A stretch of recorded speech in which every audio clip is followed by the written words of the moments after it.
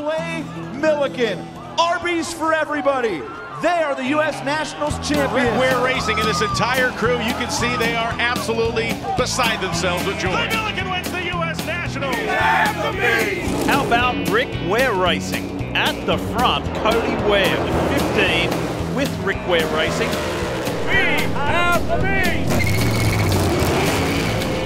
He became the winningest rider in the Parts Unlimited AFT singles category. Kody Kopp will be your 2024 Parts Unlimited AFT singles season champion. Helmets match the leathers. I love it. Mm, Looking great. Saved it for the last race of the season. Excited to be here. We're just going to keep digging, and obviously we got the meats. All right, here we go. The first race of the night, the 2024 championship season. It's underway with the first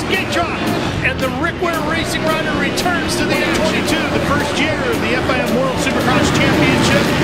And Shane McElrath won that title for Rick Ware Racing that year. Hey, and Lopes right there. Lopes was only 1.8 seconds off of the finish. Lopes rode amazing. Shock on the 69 Rick Ware Racing Arby's back machine. We got the meat. We got the meats.